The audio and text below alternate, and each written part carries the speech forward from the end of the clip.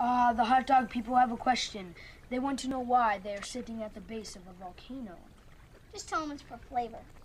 It's for flavor. oh, the hot dog lady has a baby. Cute.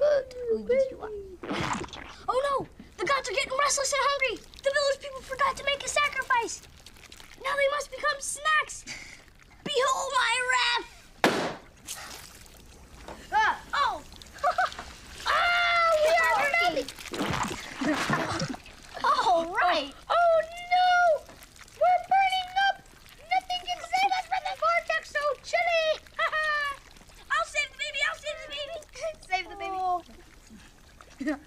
I'm gonna eat the woman's leg. Mmm, lovelicious.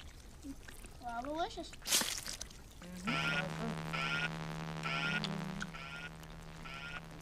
She yells at me when she's gone.